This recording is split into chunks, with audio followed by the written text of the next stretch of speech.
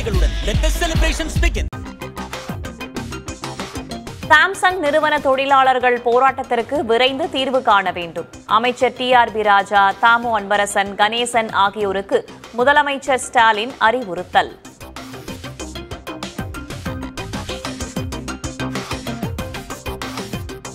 சென்னையிலிருந்து மதுரைக்கு புறப்பட்ட ஏர் இந்தியா விமானத்தில் இயந்திர கோளாறு. நடுவானில் பிரச்சனை ஏற்பட்டதால் நூற்று இருபத்தி ஒரு பயணிகளுடன் மீண்டும் மீனம்பாக்கத்தில் தரையிறக்கம்.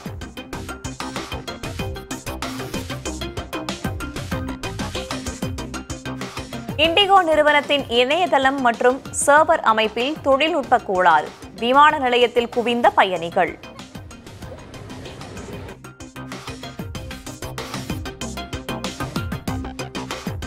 மதுரையில் புழுதி பறக்கும் சாலைகளால் மக்கள் அவதி. சாலைகளை விரைந்து சீரமைக்க வலியுறுத்தல்.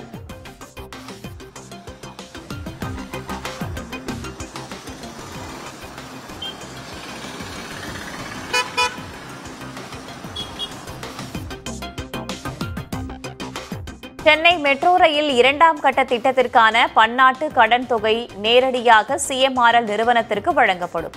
மொத்த மதிப்பீட்டு செலவில் அறுபத்தைந்து சதவீதத்தை மத்திய அரசு வழங்கும் என விளக்கம்.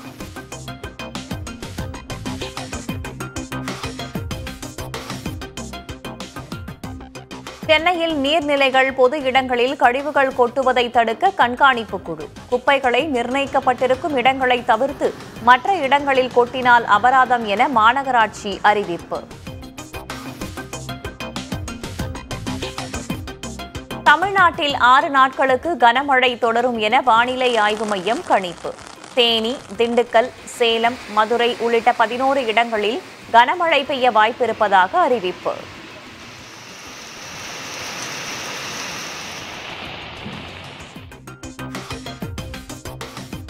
பருவமழை காலத்தில் பால் மற்றும் பிரெட் பாக்கெட்டுகளை தயாராக வைத்திருக்க வேண்டும். சென்னையில் நடைபெற்ற ஆலோசனை கூட்டத்தில் துணை முதலமைச்சர் உதயநிதி ஸ்டாலின் அறிவுறுத்தல்.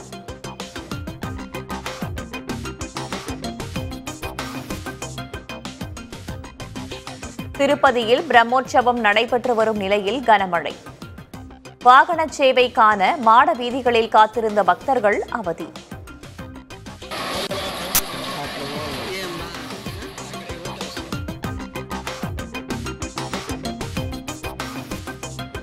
போதை பழக்கத்தை நோக்கி இளைஞர்களை தள்ள காங்கிரஸ் முயற்சி. மகாராஷ்டிராவில் நடைபெற்ற பொதுக்கூட்டத்தில் பிரதமர் நரேந்திர மோடி குற்றச்சாட்டு.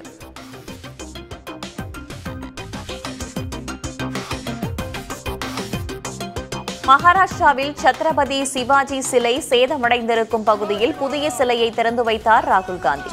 பாஜகவின் கொள்கை சிவாஜியின் கொள்கைகளுக்கு எதிரானது என விமர்சனம். வான்வழி அச்சுறுத்தல்களை எதிர்கொள்ள நான்காவது தலைமுறை ஆயுத அமைப்பு ஆலோசனை. பொக்ரைனில் வெற்றிகரமாக சோதித்த பாதுகாப்பு ஆராய்ச்சி மற்றும் அபிவிருத்தி அமைப்புக்கு அமைச்சர் ராஜ்நாத் சிங் பாராட்டு.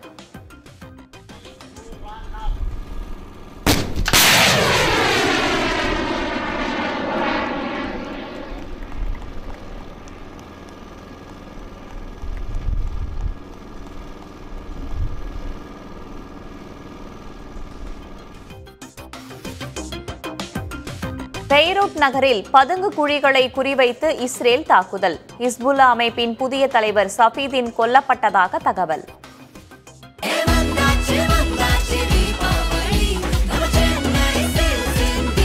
எண்ணம் போல் வண்ணங்களுடன் கொண்டாட. சென்னை ஆடைகளுடன்.